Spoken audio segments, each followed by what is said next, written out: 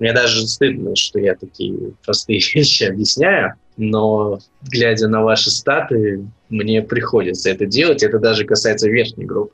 То есть я напоминаю парню, кто катает там AB10, AB15, эта информация не на 100% актуальна для вас, потому что у вас э, из-за того, что ваш средний оппонент гораздо более пассивный, у вас гораздо больше пешей, которые завели полководы посмотреть на флоп, так сказать, пытаться реализовать преимущество позиции полковода этих же, и даже больше выбросили на флопе.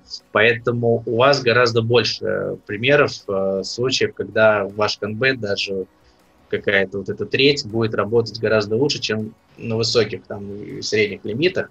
На средних же лимитах уже поле кишит регами, и вот просто так вот сидеть, кликать третюшку, чтобы бабки вам в карман шли, вам не дадут. Легкой прогулкой это не будет, если вы уже сели играть дороже. Поэтому вот эти все трети, они не работают. И есть только некоторые исключения, которые я вам сейчас покажу.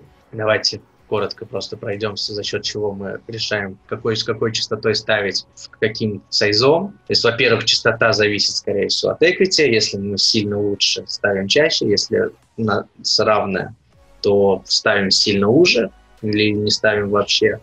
То есть в зависимости от дальнейших э, факторов. Дальше очень важно наполнение рейнджа нациями или капнус оппонента, например. Там многие доски, где у нас вроде бы равная, по equity. Ну, например, какая-нибудь, я думаю, 10 хай доска. Да, 50 на 50.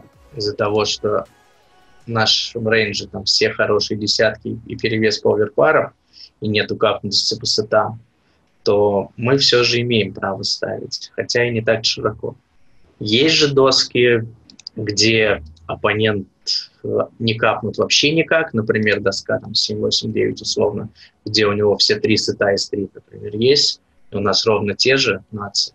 То есть тоже 50 на 50, но смысл здесь другой. Здесь как раз-таки большая часть ренжа — это руки, которые попали и не полдят вообще. То есть мы там полдекайте практически не достигаем. Или там еще худший, более худший вариант, какая-нибудь 8, 9, 10 доска, где тупо, видите, там все зелененькое, там желтенькое, то есть они полностью попал оппонент в позиции, а у нас куча ну, полного какого-то говна, то есть шака, плюс мы еще и без позы, плюс еще доска меняется. То есть в эту доску мы не ставим вообще ничего. То есть вроде equity и там, и там плюс-минус похоже, но туда мы что-то ставим, то есть, а сюда мы не ставим вообще ничего. То есть самые лучшие доски это вот, наверное, туз 7-2 какие-нибудь, потому что у нас во-первых, оппонент капнут на сет тузов, оппонент э, капнут на АК, у нас куча вот этих рук с хорошим эквити против ренджа, а у него также очень значительная часть ренджа, вот, как, вот эти вот все руки, которые не попали и особо ничего не могут сделать, особенно если мы туда еще чуть больше третий насыпем, то чел как бы вынужден выбрасывать там, больше половины своей, и это выгодно для ставки. Дальше. А, очень еще важный показатель – это глубина стеков. Во-первых, это причина в том, что в коротких стеках чаще мы играем эти споты в более глубоком ECM, то есть связанность, и с этим связано то, что люди в коротких стеках чаще полдят. В коротких нет такой хорошей реализации, как в глубоких стеках, и люди вынуждены часто там свои бэкдоры выбрасывать, особенно на какой-то увеличенный сайз – потому что он понимает, что он сейчас ходит на терн, ему прилетает авы, но он ничего не сможет сделать. Ну и, в принципе, людям психологически тяжело тянуть плохие карты, когда понимаешь, что часто их поставить сразу на терне тяжелая ситуация, в отличие от глубоких стеков, когда они понимают, что они могут сейчас заплатить флоп, под терну купить хороший, заплатить еще раз, и там на ривере еще раз купить или заблоковать. В глубоких стеках игра идет какое-то форсирование и люди сразу выбрасывают даже больше, чем должны по. Но единственное, что не забывайте, что в коротких стеках только люди гораздо больше ловушек вставляют. Но и также вот то, что, о чем я говорил, еще очень важный факт – это динамичность доски. Самый кровь из глаз у меня идет, когда вы начинаете какие-то огромные беты, там 5, 6, 7, 7, 8, 9, 8, 9, 10, причем не с нациями, то есть, ладно, типа, если мы считаем, что ничего не выбрасывает, и какой оппонентом там сбалансированным или нет, тогда логично, что нации мы должны ставить огромными ставками. Это окей. Например, 7-8-9, мы стрит получили такие, о, оппонент выбрасывает минимум, но значит здесь я буду сразу добирать большими конями, пусть жир у меня по щекам течет, оппоненту все равно похуй, даже если я ему покажу наш там стрит, он все равно свой гадшот не выбросит. Но когда вы там тузы свои в 100 ББ глубине идете, эти 8, 7, 9 доску двумя третями или там под бетом каким-то, овербетом, получаете рейзы, еще выставляетесь, когда там у оппонента тупо 16-17 комп стритов условно, то есть это, и, и хуже он никогда ни на чем не ставит. Еще и двух пар гора, то это просто полный пиздец. То есть, то есть э, именно помните, если у вас какой-то супер мощный эквити, относительно там неубиваемый или который нуждается в протекте, но при этом супер оно сильное, например, там сет какой-нибудь на опасной доске, но оппонент будет тянуть, и вы реально собираете свою value а не ситуации, когда у вас там оверпара, не блочите никакой value, вы ее хуете, у вас против э, ренджа оппонента, против кого 50% нету, так еще и вы на, больше, на огромное количество тернов пиздец попадаете. Вот это очень печально. То есть, и запомните, чем глубже стек и чем динамичнее доска, тем более мы склонны сушить нашу игру. То есть играть от чеп, чепкова, то есть э, сохранять наши эквити, то есть не разгонять банк, э, так как по реально огромному количеству ранаутов мы будем вынуждены сдаваться там, или чек-колить, сделать там крайн-колы каких без позы будет очень тяжело.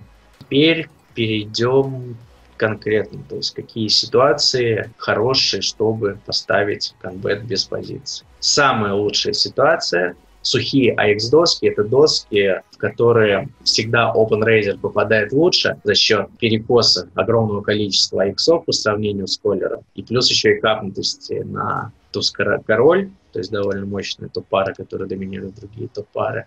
При этом, как правило, у нас еще и больше двух пар, в отличие от колера не с батоном. А также, ну, то есть у него два сета есть, но у нас те же, но у нас три сета, и по иксам мы сильно старше – и даже вот посмотрите, если вы повзили забить, если он будет тянуть свои тузы, даже будет тянуть все свои пары, если он все будет протаскивать, это половину рук он выбрасывает. То есть надо ставить только, наверное, желательно все же не четверть. Хотя если оппонент доверчивый, вы знаете, ну, видите, что он не супер такой душный, который все протягивает, там любые валет 10 тянет, ну, то есть более доверчивый игрок. То есть обращайте внимание на на то, как человек борется за банки, как выбрасывает, можно отправить третьюшку. Если душный оппонент, да, ну, насыпьте полквота или там 55%, это будет иметь смысл, потому что вы как раз окажете влияние на огромное количество рук. Баррели дальше, на самом деле, нужно только какие-то хорошие блокерные руки, и желательно еще, чтобы equity пошло. Потому что мы на флопе добиваемся громадного фолд equity в этих спотах, ну, то есть пускай досках. Следующий пункт, куда мы хотим ставить много, это какие-то сухие кайксы.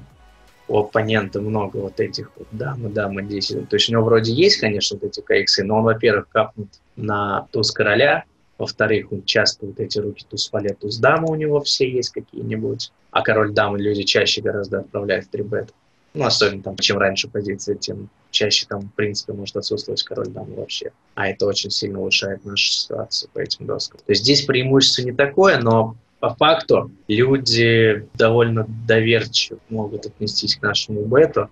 Если в поздних позициях, и там, например, больше вот этих вот всяких бродвеев, но в эти доски мы всегда ставим только большим сайзом. То есть все блефы в них работают только большим сайзом. При этом мы добирать тоже хотим большим сайзом. Ну и еще хорошие доски, особенно против средней позиции, это спаренные доски. Типа особенно там маленькие спарочки какие-нибудь. Причем в них мы тоже, мы не третьи насыпаем, а в них мы насыпаем большую ставку. Причем смотрите, как это работает охуенно, что мы треть насыпем, оппонент, ну реально любые, вот любой бэкдор протянет, еще и туз даму там зацепит, и туз валет. Просто ноль, сто процентов. Если мы берем туда две трети, понятно, что солвер тоже и на две трети это все протянет, но живой человек, как правило, просто скажет, нахуй мне эти качели, и реально очень жестко заоверфолдит на ставку там, процентов 80, потому что ему еще играть по следующей улице, непонятно, что покупать и прочее. То есть скажет, у меня здесь есть же house, как раз помнит про те три восьмерки, которые есть у него в. И сейчас скажет, да еще и оверпары есть. Но здесь реально мы колоссального фолд достигаем, и оппонент капнут, а у нас как бы еще и туз-2 какие-то есть. И вот смотрите, сколько у нас вот зелененьких рук оверпад. То есть за счет них как раз-таки мы и хотим, как правило, здесь атаковать оппонента.